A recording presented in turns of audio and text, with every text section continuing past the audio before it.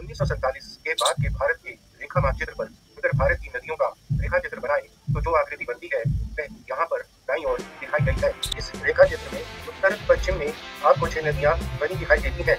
वे उत्तर से पश्चिम की ओर बहती हैं। इस लक्ष्य की मदद से हम इन नदियों का नाम जानने का प्रयत्न करेंगे। आप इस एनिमेशन में उन छह नदियों पर ध्यान केंद्रित करें। इनमें से सबसे ऊपर वाली नदी भारत की सीमा में चीन से प्रवेश कर रही है। इसी प्रकार सबसे नीचे वाली नदी भी भारत की सीमा में चीन से प्रवेश कर रही है।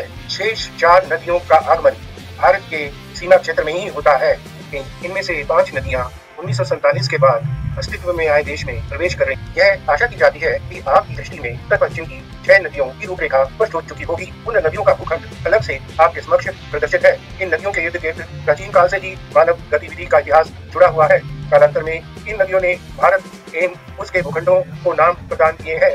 इनमें से पाँच नदियों ने जिस भूखंड का इतिहास रचा, वे भारत का गौरवपूर्ण रोहर बना, जिसे पहले पंचनद पर और मुगल काल में पंजाब के नाम से जाना जाता है, पाँच नदियों के आसपास। मानव संघर्ष का जिस गौरवशाली इतिहास की सृजना हुई, उसे पंचनद और फिर पंजाब के नाम से जाना गया और उस भूखंड की रूपरेखा जिस रूप में उदित हुई, उसकी छवि यहाँ प्रदर्शित है।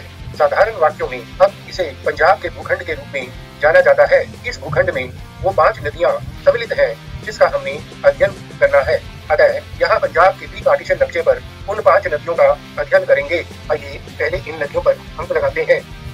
एक, दो, तीन, चार, पाँच। एक वाली नदी सतलुज है, दो वाली नदी व्यास है, तीन वाली नदी रावी है, चार वाली नदी चनाब है, पाँच वाली नदी झेलम है।